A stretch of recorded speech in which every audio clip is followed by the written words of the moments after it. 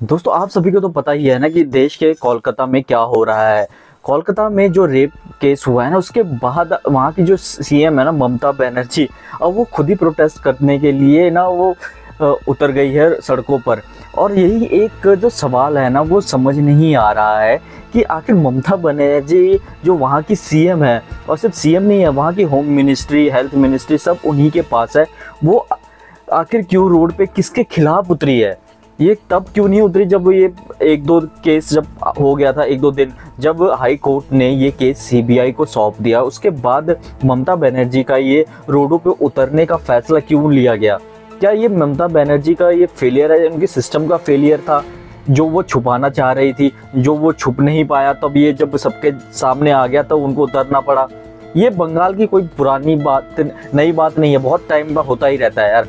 और न जैसे कि आप देखिए ना, जो चीज़ें हुई ना, एक सरकारी हॉस्पिटल में ये चीज़ें हुई। और ना, बिल्कुल देखो ना, आपने उसे छुपाने के लिए जब इतनी, जब पोस्टमार्टम की रिपोर्ट आई, जब जब पता चला कि उसके मतलब क्या क्या चोटें लगी हुई है, साफ़ दिखाई दे रहा था आँखों पे ये, वो जब उसके घर वाले गए तो उन्होंने एक ही बार देखते ही बता दिया कि उनको चोट लगी है बहुत सारी।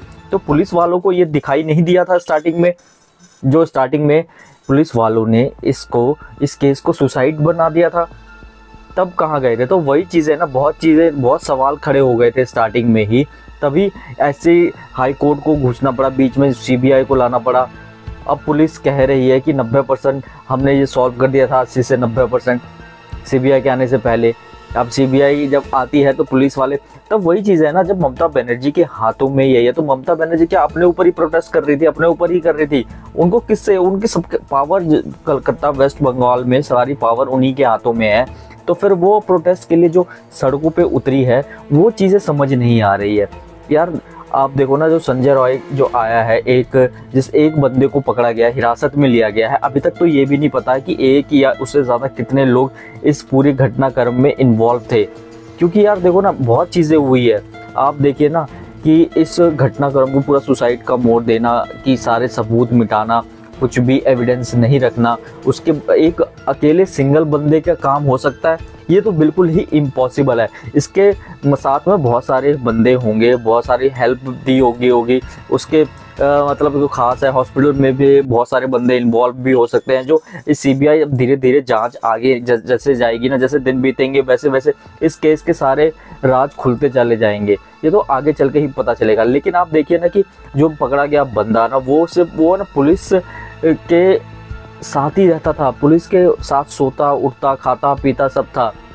पुलिस वालों से सैलरी मिलती थी उसको।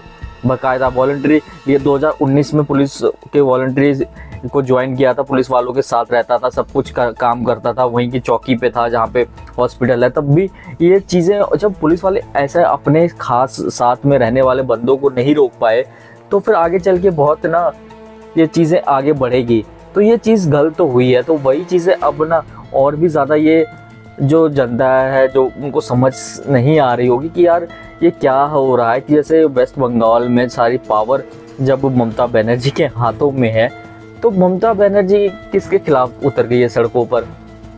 क्या पुलिस से इतनी बड़ी लापरवाही हुई है कि स्टार्टिंग के इनिशियल स्टेज में जब इसका इन्वेस्टिगेशन हो रही थी इस केस पे, तब इस केस को सुसाइड का मोड़ देना किस रीज़न क्या था इसका? इसके पीछे भी बहुत ज़्यादा रीज़न हो सकता है, जो सीबीआई सब कुछ अब पूछताछ करेगी और भी बंदे आएँगे गार्ड पुलिस ऑफिसर बड़े बड़े नामी, तब उससे आगे धीरे धीरे निकल के आएगा। इस केस के पीछे कौन था और भी कितने लोग शामिल थे?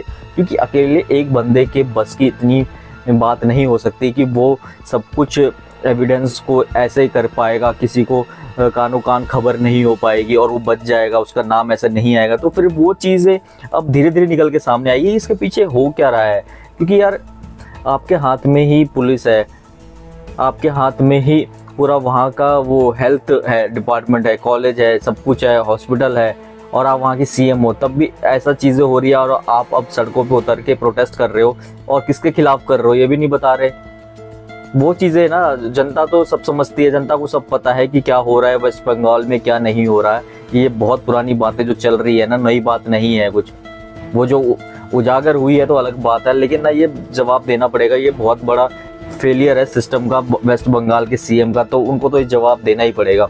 दोस्तों, आपको क्या लगता है कि ये सारी घटना जो भी हुई है, उसके पीछे मतलब क्या है आखिर? पुलिस ने आखिर बहुत सारे सवाल हैं यार, उन सवालों का जवाब धीरे धीरे सीबीआई के थ्रू ही सभी को मिलेगा। आपके मन में भी कोई सवाल हो तो कमेंट करके ज़रूर पूछें।